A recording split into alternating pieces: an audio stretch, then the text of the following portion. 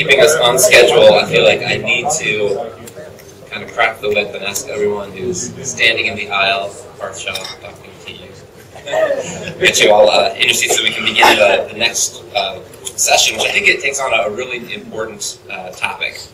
And I'll, uh, I'll set this up by explaining a, an exciting program that is new to Atlas this year, uh, thanks to the, the John Templeton Foundation, which has been a very generous sponsor of a lot of aspects of our, of our work. Um, the, the, program that we started this year is a, a two-year grant program called uh, Liberating Asian Enterprise, and it has us um, funding some of our partners in the region so they can do very concise empirical studies about real ways that uh, reform can be implemented, regulations that should be done away with, uh, subsidies that should be eliminated.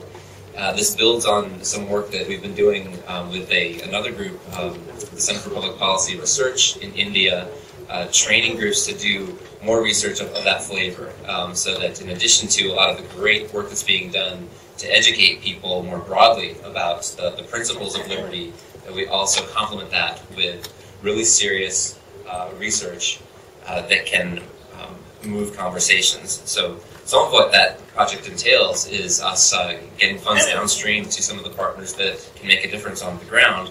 Um, but then we also challenged uh, some of them to come up with a proposal to do focus groups and surveys to better understand how we can be marketing our message.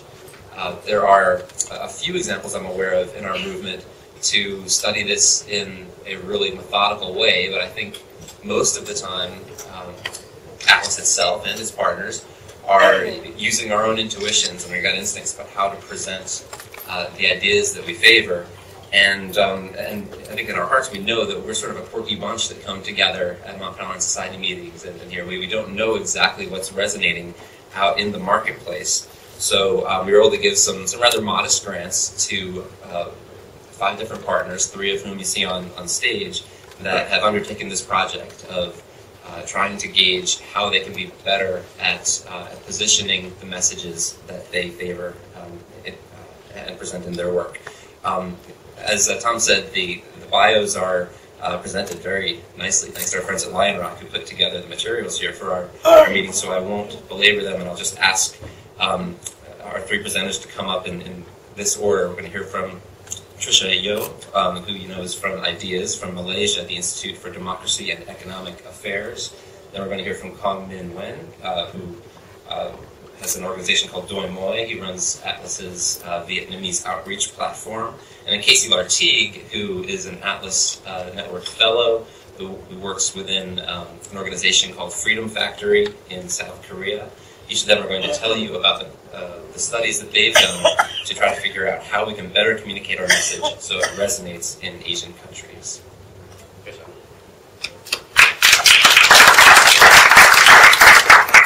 Good morning, everyone. Thanks for the introduction, Brad. Um, as mentioned, I'm Tricia from Malaysia.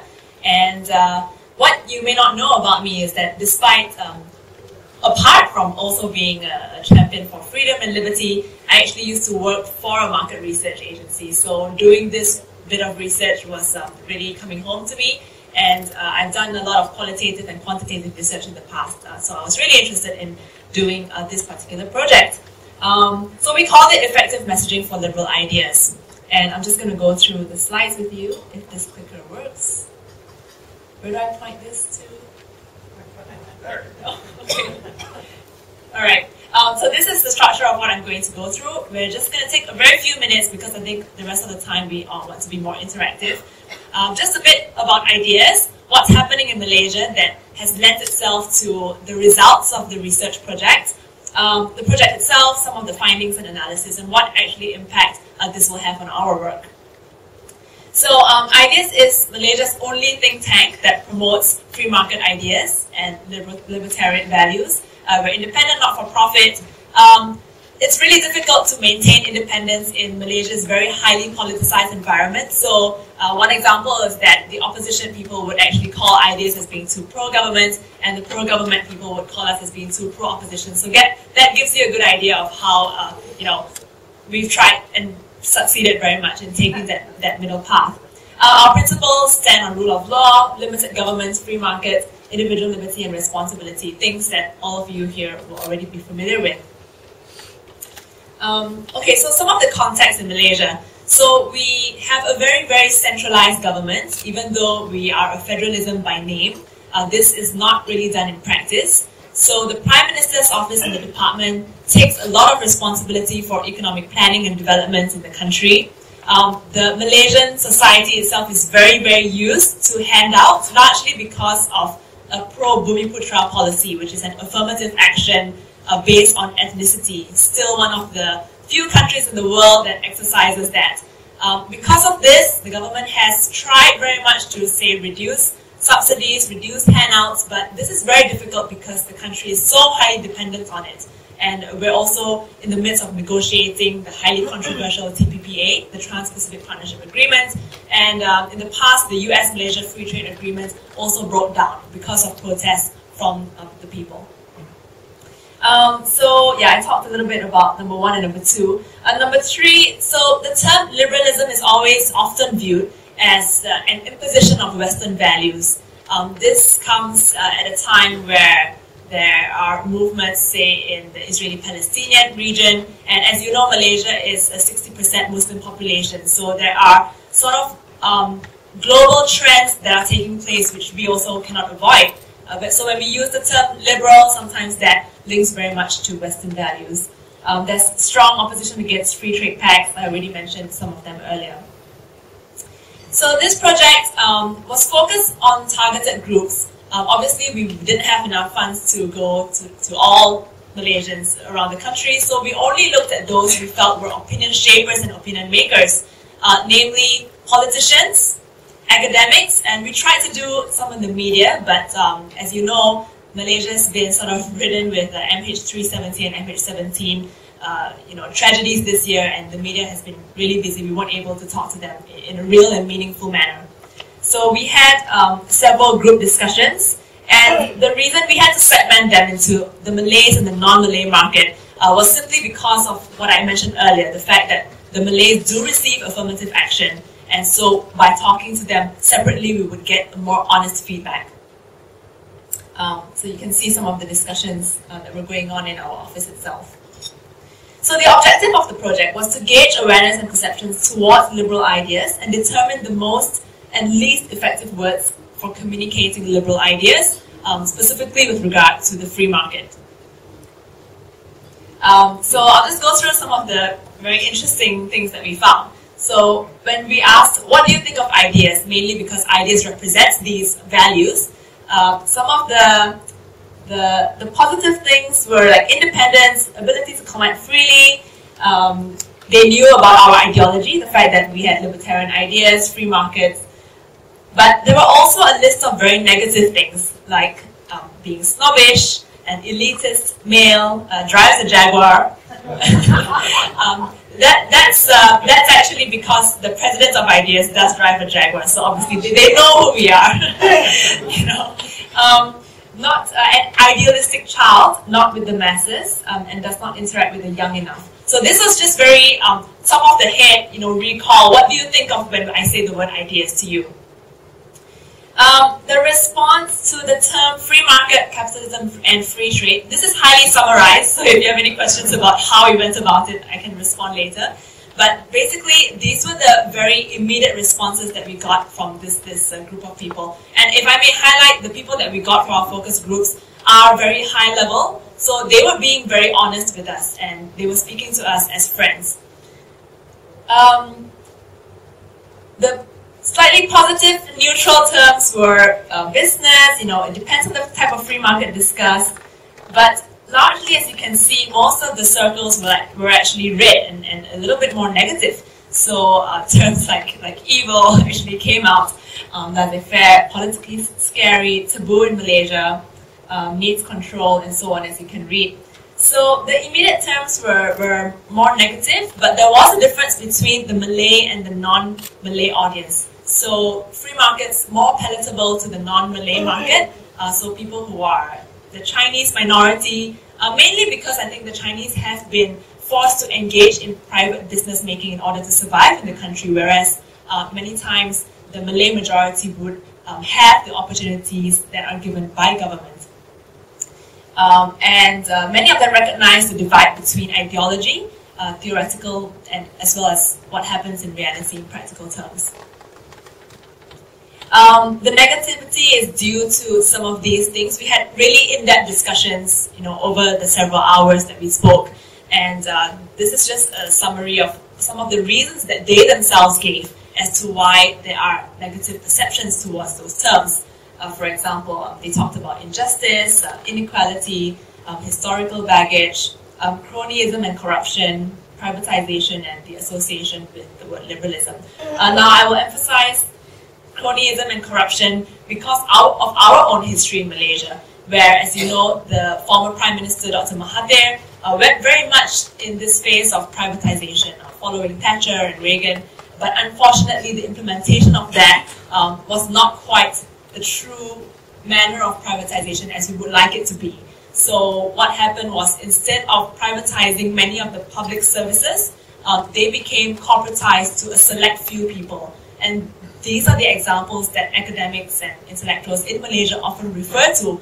Um, in, in, that sense, the term privatization has become sullied, um, like it or not. So, as the conversations uh, went on, many of them eventually felt that yes, actually, the philosophy behind free market, the philosophy behind uh, libertarianism is something that they might agree with, um, but not necessarily the terms themselves, themselves that we had uh, initiated. So these are some examples that they gave, uh, perhaps free competition, property rights, markets, trade, liberalization, deregulation, and so on. Um, as you can see, using the term markets or market-based or pro-markets are a lot more acceptable than using the term free market. And I'll come to that later because it actually affects upon uh, how we sell ourselves uh, trade property rights are also all right. Um, so a bit of analysis. So the terms of capitalism have become tainted. Uh, this is just purely based on, on the focus groups that we did. And they agreed that the principles themselves may be something that they accept, uh, but it's the way it has been played out in Malaysia that they do not necessarily agree with. Um, okay, let's just move to that. Yeah. So these are the terms, just a summary of some primary words and supplementary words that we found throughout the interview sessions that can be used. And finally, how does this impact upon us? Um, I think one thing that was quite striking across the groups was that um, the perception that they had of people who promote free market and libertarian values is that sometimes we are rather dogmatic and theoretical in the way that we are unmoving from our positions. So, in terms of ideas work, uh, we do believe that we would not necessarily change the way, uh, not necessarily change the philosophy and the thinking behind it, but the manner in which we engage with the people we want to reach out to, uh, that may have to alter slightly. So, meaning showing openness and willingness to engage and discuss these ideological differences. Um, some of them mentioned being able to cater to Islamic philosophy, where Islamic philosophy actually does encourage the free exchange of goods and ideas, and avoiding taboo words. And finally, um, to have good, solid research backed with data. So that, that's the sum, I think, of, of my presentation. But the question that I'd like to pose to, to us as proponents of uh, free market and capitalism in Asia or, or in other parts of the world is this. So after having done this, uh, we had an internal discussion amongst ourselves and we asked ourselves the question, do we actually change the terminology of what we use or do we actually educate the public as to the actual non-muddied, non-studied term, you know, without the baggage, without the historical influences. Um, an example would be religion. So if people were to misunderstand, say, Christianity, or if people were to misunderstand um, um, Islam or, or, or, Jesus, does that then mean you change the word Islam itself or change Christianity itself? Or do you spend the bulk of your time and your effort educating the public as to what uh, truly Christianity should be, or as to what truly Islam should be. And I think this is a, is a really difficult um, point for us. We are still talking about it. On the one hand, some of us believe that yes, if we are going to sell these ideas, we should be able to listen to what the needs and demands are out there. So we, we should change some of the, the wordings. Perhaps we could talk about market and, and competition and opportunity as opposed to free market.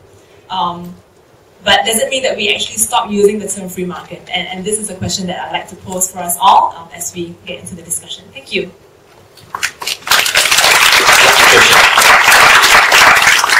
Now we'll invite Min to uh, give a presentation.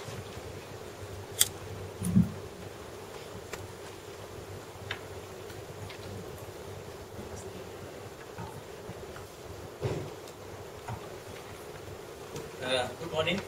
Uh, I would like to thank Atlas Network for giving, uh, giving chance to be here to uh, present my research on Vietnamese media perception on of uh, gravity. Uh,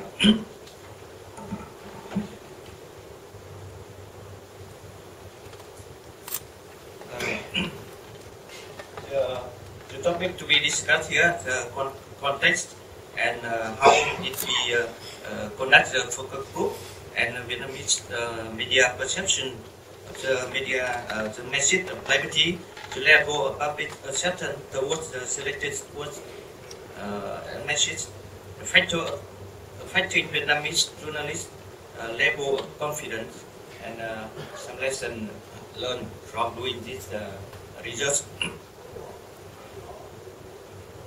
so, uh, the context, uh, the, the reform uh, process in Vietnam has been driven by the experimentation, not by coherent free-market uh, ideology, lack of unbiased information on free market idea. The concept of uh, free markets has not been understood thoroughly or used widely by the media and the public.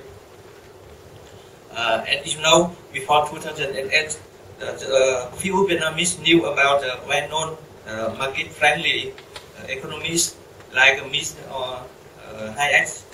If someone mentioned to Milton Friedman, they assume him as a monetarist uh, economist rather than a leader free market economy. Uh, in order to promote the liberal idea in the country, it's important to learn what language and what words are best to use to talk about the free market in a way that people uh, are most likely to, to listen. So, uh, we did a focus group uh, to to to uh, uh, to, to find the uh, this uh, the participant why media uh, worker and journalists were chosen to be the participant of the focus group uh, because media play a very important role in shaping public opinion whether or not notion of the free market is understood and accepted by the public depends heavily on whether it is accepted by those in the media who inform the public on a range issue. As Mr. Hayek said in the mentioned in the intellectual and social socialism, their second uh, second hand dealers in idea.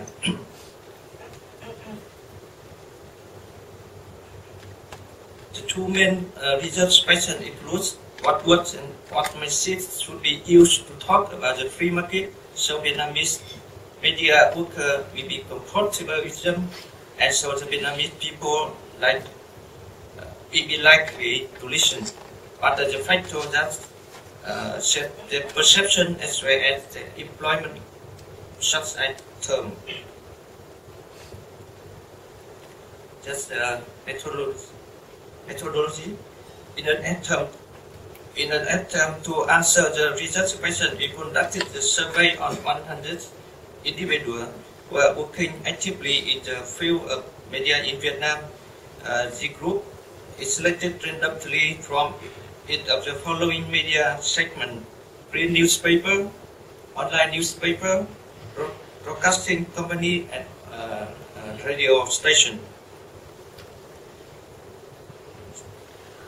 yeah, the method of uh, digital structure questionnaire is used to carry out this research.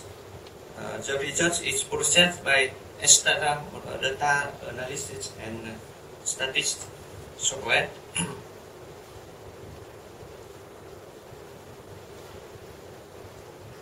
Uh, in the questionnaire, we, uh, we give this 11 what message about uh, liberty, uh, private enterprise, market economy, free trade, free markets, individual liberty, freedom of choice, capitalism, rule of law, private ownership, market, uh, morality, property rights. The, question, uh, how do we evaluate a certain level of this term in public? Uh, do you feel confident use, using this term in your article or daily conversation at work? Where the, the first encounter with the exception of free device? Uh, we also give the uh, multi-choice answer. Now I'm, uh, I'm going to take a quick look at the characteristics of the focus group. Uh, you can see from, oh, sorry. As you can see from the chart, that the majority of, the, of those who took part in the focus group as journalists under 40 years old, the ratio between male and female is relatively balanced.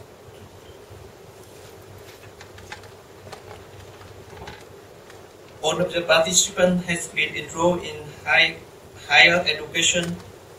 89% obtained a bachelor degree. It implies that all the participants belong to the higher education social group and they are, they are expected to have more access to the knowledge as well as information. Now the, uh, graph uh, illustrates that most mo most university degree which the participant obtain are journalists uh, and economists, it can be understood that nearly one third of the interviewee are assumed to have knowledge of uh, economics. Now, this slide shows the, the working field of the participant to ensure implementation of random sampling methodology. The selected group is composed equity of the four main sessions economic media field, print, newspaper, online newspaper, and television and radio. Now I'm going to talk about the uh, Vietnamese media perception of the message of the graph shows that the majority of journalists want to know the concept of free market mainly through the university and through the other sources of information such as book and internet.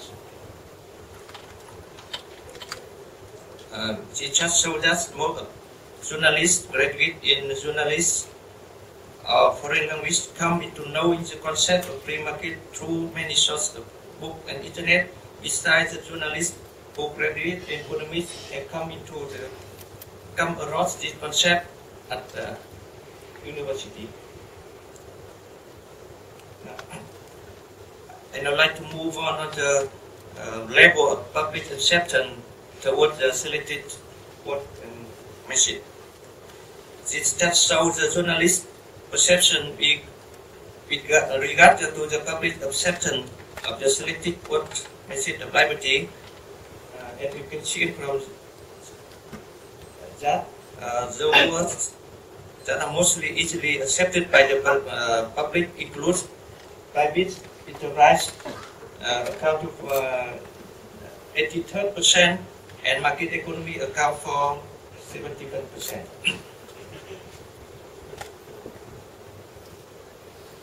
now this just shows how to accept percentage the words, uh, the selected words uh, or message liberty. Uh, it clearly shows that the words with high rate of the how to upset by the public included private ownership, uh, capitalism, freedom of choice. now I'm going to talk about the confidence level of journal, uh, journalists overuse of the word machine at work. Uh, the term that received the highest percentage of confidence as market economy, private enterprise, free trade, free market. The term that uh, get highest rate of unconfidence of the journalist compound private ownership, market morality, rule of law, etc.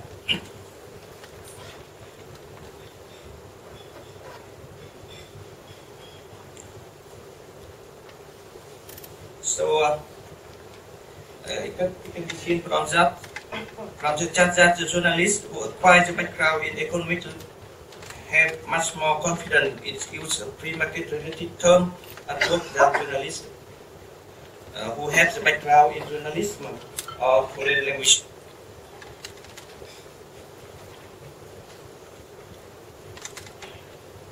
This chart indicates that journalists who are currently in the working in the, uh, on the online newspaper tend to be more confident than people who are working in print newspaper.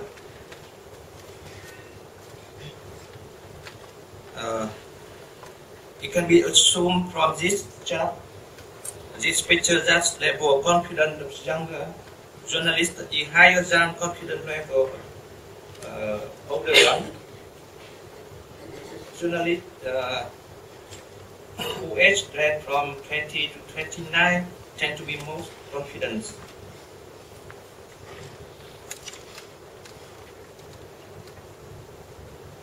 Now I'm going to concentrate on the finding from the focus, uh, focus group. What would message of the journalist see as positive? Uh, private enterprise and market economy as both considered as easier, easily accepted by the public and confidently used by journalists. Free market and free trade are also confidently practiced by journalists the group of journalists last attend on uh, all the following characteristics uh, economics background working for online newspaper in 20 to 29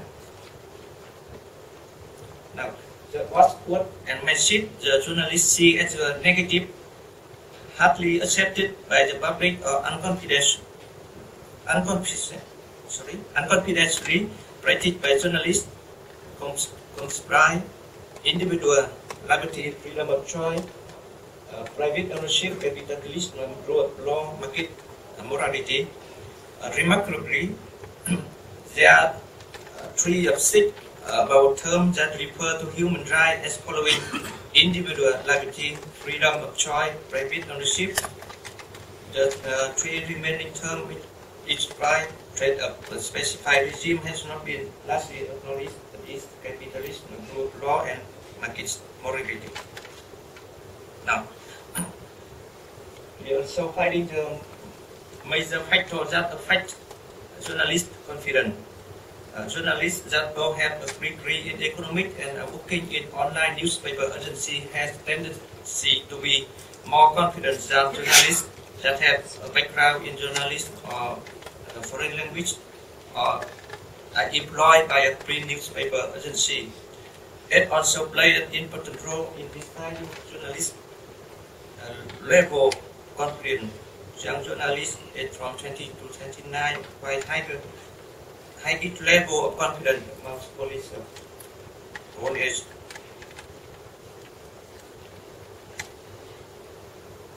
Now, with some lesson drawing from the doing focus group um, as, as you know, this is the first time such a focus group uh, was done in Vietnam.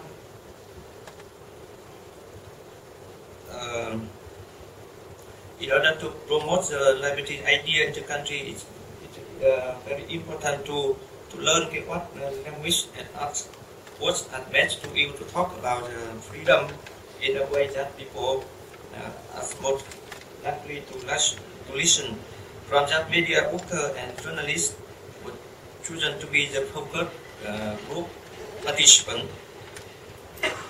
The result from the focus group really helped us to understand and find su- suitable way to promote the idea of liberty. Uh, use more of the positive, uh, positive words and avoid negative one in uh, our article and paper.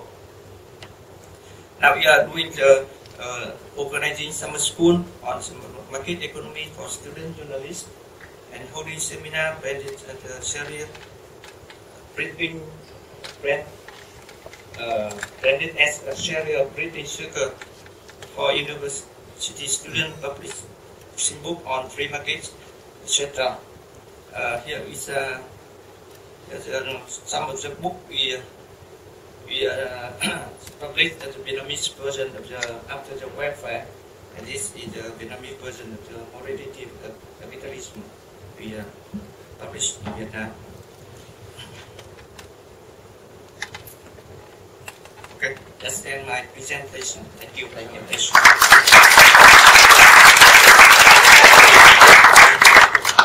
Okay, and then our, our final presentation is going to be by Casey Lartigue telling us about uh, the study that they did in South Korea.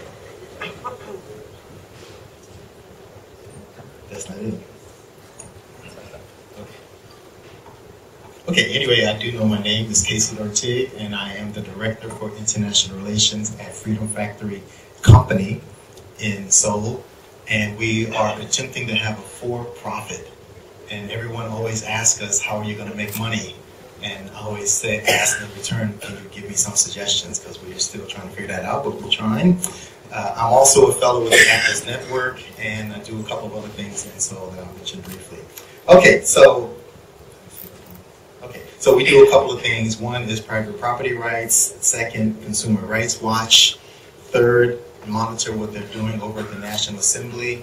And fourth, the main part that I work on is North Korean liberation.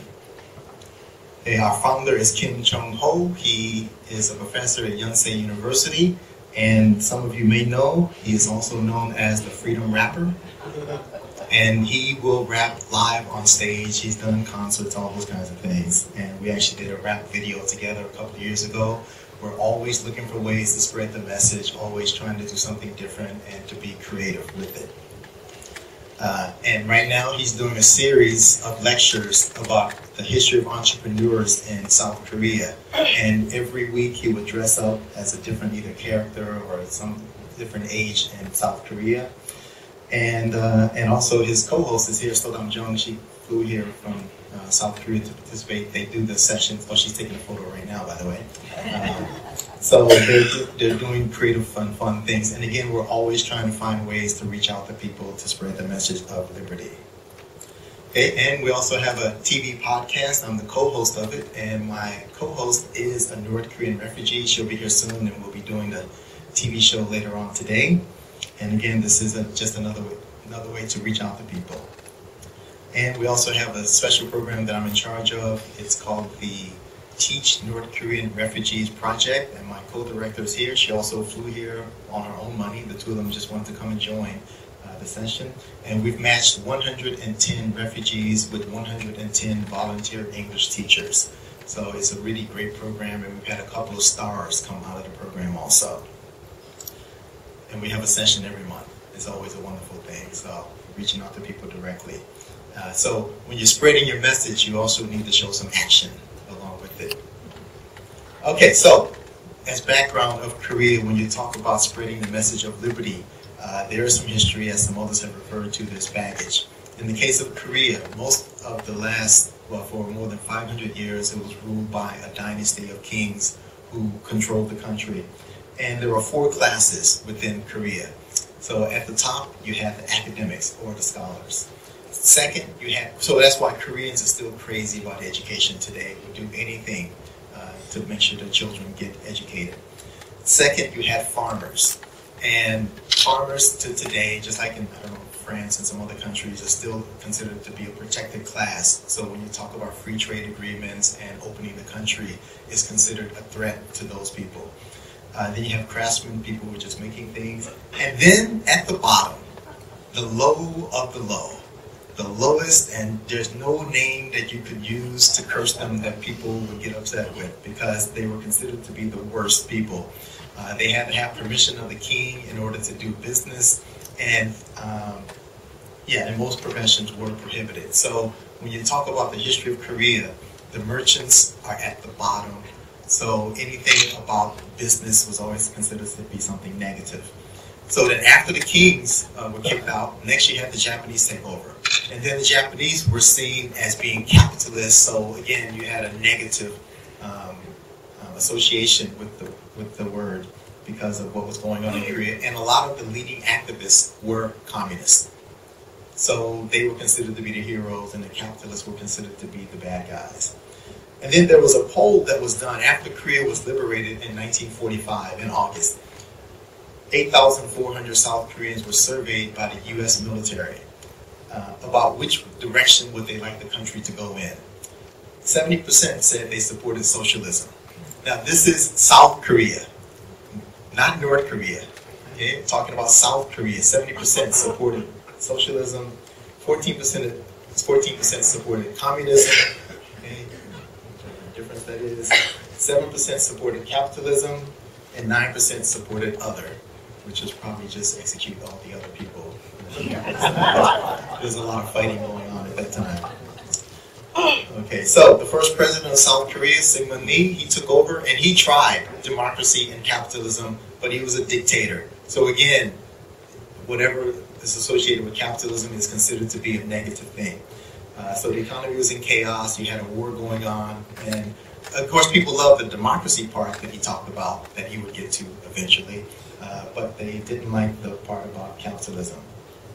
And then the country was taken over by a dictator, Park Chung-hee, military leader, and he forced freedom on South Korea. So you had a culture that was basically socialist. I mean, people want to use Confucianism. I mean, basically it's like a socialist uh, society. Uh, he opened up free trade for the first time in history. You're going to export. We're going to build a mighty, mighty nation. But he also locked up people, executed people. So a lot of people cannot forgive him for that. So again, you have like the brutal dictator who also said this country will become developed. Okay, so if you look at the history, it's all been bad news whenever Koreans encounter any form of capitalism. Uh, all the way to the 1980s with the dictators, and then resistance, as I said, to market openings and resistance to free trade agreements. So that's the history. To today, where it's a polarized country about ideology, very strongly so. So the one that I just want to point out, the one that the, the guy in the bottom with his mouth wide open, he's the one who set up the canister in the National Assembly of tear gas to block the vote on the free trade agreement, to, to protect the farmers and to protect other interest groups within the country. Okay, so we come to today, talk about freedom, talk about capitalism, talk about liberty, those things. And so we came up with 18 different words. Okay, let me say that my colleague Eugene Lee actually did the focus groups. I'm just a pretty face here to present it. She couldn't be here. Um, so capitalism, survival of the fittest, jungle capitalism, excessive competition. So we came up with the 18 dirty words um, in Korea, including chaebol, uh, letter I, which means large conglomerate. So we came up with these 18 different uh, words and decided to test them on people. And but the way we did it is by also offering alternative words that could be more pleasing to people. Uh, so, for example, for capitalism, instead use market economy. For chaebols, the, the hated big companies, just use large con- conglomerate. For libertarianism, uh, pure liberalism. Uh, instead of using progressive down at the bottom, use left. So we're curious how would people respond to these things. Okay. So uh, I'll just show you what she came up with which is not so easy to understand. So I, had to break it down a little. But I'll just show you that she did this. We can go back to it later if anybody is desperate to do it, which I hope no one is. Um, okay. So capitalism, market economy. How do Koreans respond? Well, actually, and, and the way she did it, uh, where it says original word, she did it on a um, zero to twenty scale, and on one side is negative, disagree. On the other side is positive, and they like it. And then with market economy, she did from zero to 100. So this one, actually, people were somewhat positive when they um, were told the word capitalism, and they were fine with using market economy instead. Survival of the fittest is an interesting one because I mean, it's a phrase that I think a lot of people, at least in the West, will say, okay, we don't use that anymore. Well, the libertarians in South Korea are not afraid to use that phrase. And they think it's better to stick with that word instead of using something like harmony capitalism. But if you look at others, so um, conservatives and others, mainly many progressives, uh, they are supportive of using the other phrase, uh, harmony capitalism. Then excessive competition. So there, across the board, people had a negative response to that phrase. And instead, market capitalism, just across the board, they're all saying this is a great thing. Winner take all, again, in the West, people will be like, okay, that doesn't sound that good. And in Asia, uh, sorry, in Korea, also the same kind of response. Don't use that word. Instead, use consumer choice capitalism. Again, across the board, people were supportive of that. Uh, trade protectionism. Now, this one, the libertarians in South Korea are saying don't use that word. Instead, it's better to use regulation of trade. And with progressives, they actually were somewhat supportive of using trade protectionism and against the phrase regulation of trade. So I think we should use regulation of trade. That's my conclusion. Uh, then chaebol. Uh, again, the large companies within South Korea. So most people were saying that, okay, it's, it's okay. Um, but conservatives in particular would prefer to use large conglomerate, and I think because they are more associated with the chaebol, so they're tired of being associated with that. And then just a couple more to finish. Uh, the original word libertarianism. Now this one is funny because even libertarians in South Korea are saying we don't really like that word. So instead, and they're gung ho for using uh, pure liberalism instead of libertarianism. And, and the reason is that there is no word libertarianism in South Korea, and it's hard to even translate it. It's like a really awkward phrase uh, when it is used. So that could be part of it. And conservatives are also supportive of it. Uh, progressives, as you can guess, don't like that word. Uh, and then the last one is progressive. And this one, there's a clear divide. So you have the libertarians and conservatives saying that they like that word. Um, I'm sorry, they like they prefer to use the word left. They don't want to use the word progressive, but the progressives are saying, oh no no no no, don't use left. We are progressives. So there's a clear divide about using that word. So again, we're going to try to tag it on uh, there. And uh, a couple of words were recommended by some of the people in the focus groups. Um, so, and we ended up using some of them. And then, okay, that's it. Okay, I know I got it.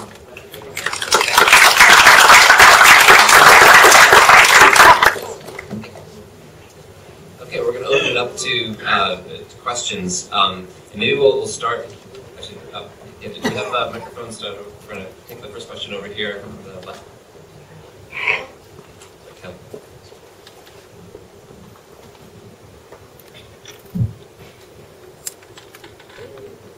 I have a question Patricia. Uh, you said that you are much more successful in promoting the ideas of liberty and capitalism with the Chinese than with the Malays.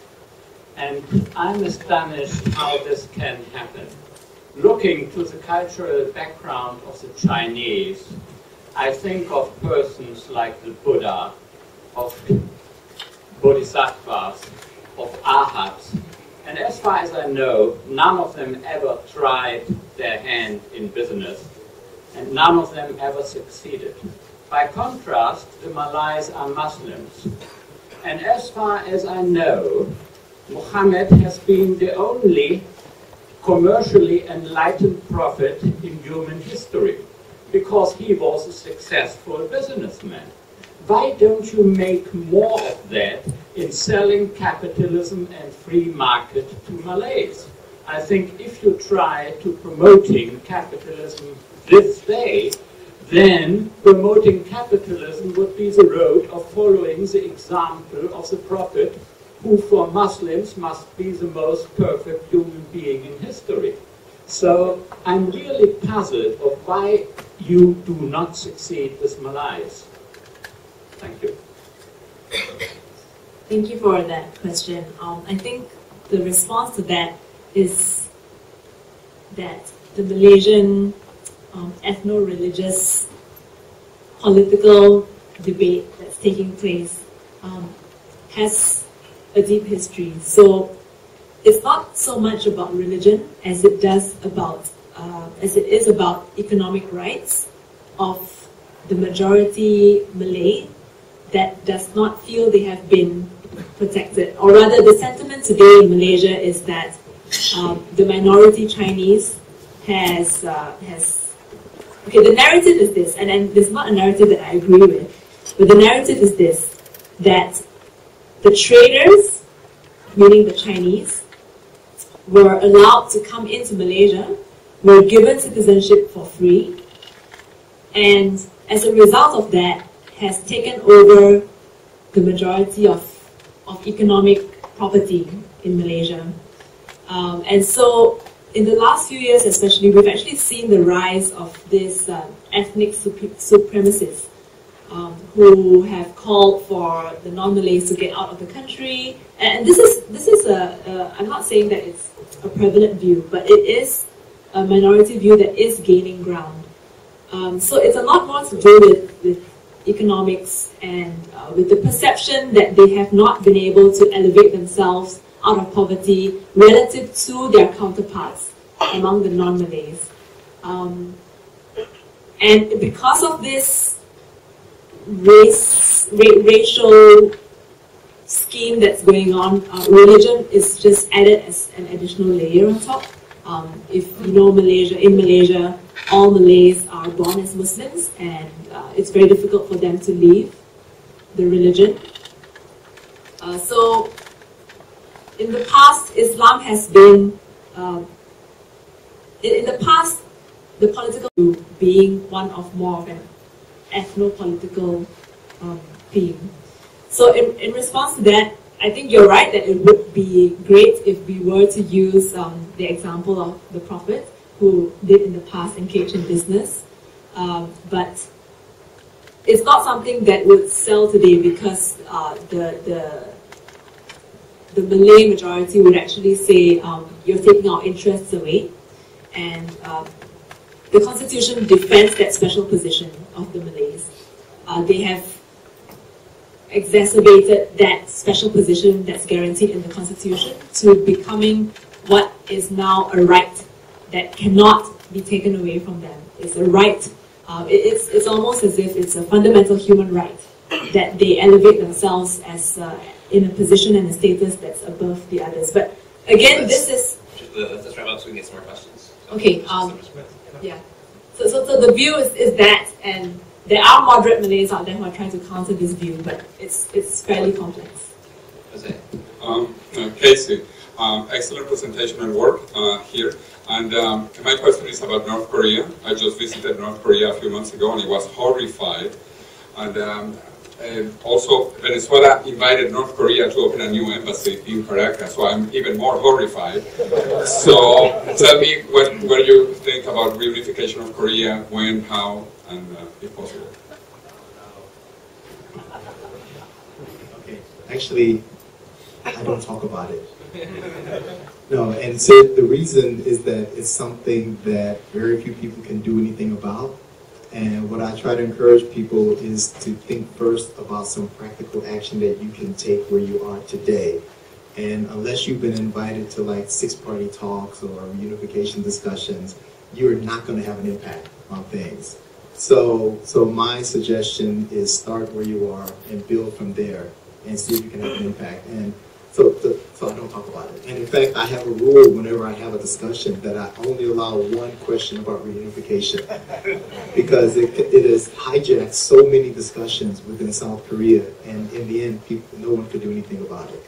And I'll say that it's a little bit off topic for this one, and, and Casey can talk, and we'll have a chance later during the uh, the television program we're broadcasting with Casey to talk more about what can be done in, in North Korea. So let's take a few more questions really pertinent to um, the topic at hand here. Uh, I just want to add one very simple question to all of you. Uh, in a simple uh, correlation, when you take a look at the strong governance versus uh, introduction of free markets in the, in the economies, I, I want to take an example of, let's say, Korea with General Park, who was a very strong leader. When you take, let's say, in China, Deng Xiaoping, he was again a very strong leader, introduced a significant reform in the country. Uh, Singapore has a very strong leadership since its inception, became a very successful model. Uh, and, and, and I think the model all around applies very well to Asia. And, and you take a look at the other case, like India, when you have so many different, different political factions, very hard to, to reach a, a very meaningful, meaningful decisions. So I, I want to ask you, what is the perception? How do you see democracy as part of liberalism or libertarianism uh, in Asia, and whether you make a difference between liberalism and libertarianism? These are two, in my opinion, these two different concepts. Okay, I, I want to just address part of it, not not all of that. Uh, William Easterly did a paper, I guess about a year or so ago, Benevolent Autocrats.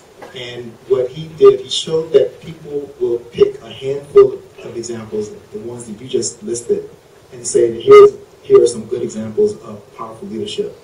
Now, he did the analysis of 89 different countries like this and found that nine of them can be considered to be success stories. 10 of them, absolute failures.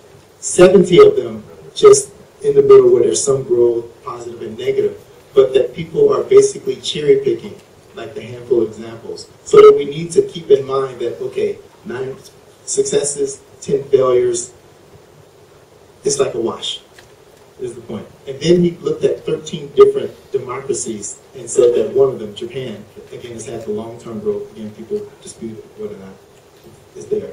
And then 12 of them, some negative and positive. So I guess I want to remind people that, yes, it can happen. It can be a success story. But it's just as likely that it can be a complete disaster. We have time for one more question. I think we're actually going to go to Parth Shah. Um, if, if we can, Kelly, if you can bring the microphone over to Parth, whose group, uh, Center for Civil Society, also um, was engaged in this focus group project that Atlas commissioned. Yes, I just want to share one learning from that project. Uh, it's not so much a question, uh, but that's I think answers part of what uh, uh, Tricia raised in the beginning. So we asked the question about capitalism, and what we found that the image that goes with the word makes the most difference. So when we projected the word capitalism with the image of Coke and McDonald's, you know, high proportion of people had a negative impression of that. When we changed the image with the same word, image of a local sort vendor and local fast food chain which has come up in India in the last uh, few years. The image was uh, changed their, uh, their sort of view of the term. So I think one learning that we have is that we do work on what images come to people's mind when they hear particular words. And that could change not so much by changing the words themselves. Same thing happened in terms of economic freedom. So when we began to use the word economic freedom, quite a few people had negative impression of it. So when we changed that to livelihood freedom, uh, that became a very positive word. So basically, economic freedom meant to them that economic freedom applies to those who have economic means, which obviously are rich people. We're talking about freedom of those people. When you say livelihood freedom, it simply it means people who are in their livelihood. Obviously, those are not rich people, and therefore they have a very positive impression of it.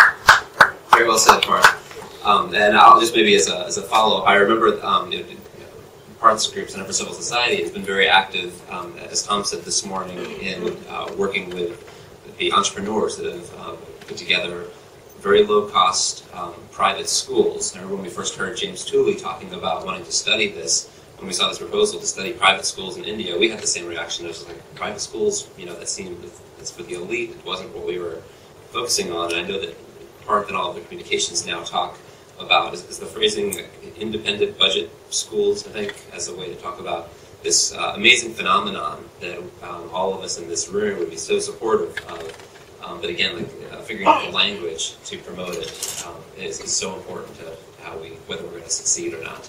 Um, we are going to break for lunch. There's going to be a buffet, and I'll encourage you to uh, get your food, go back into the room where we started um, this morning, just adjacent to to this one. Uh, we're going to add um, a couple uh, things to the presentation during lunch, so uh, please do uh, help me thank the, the, panelists and then make your way to uh, get food, and we'll meet again.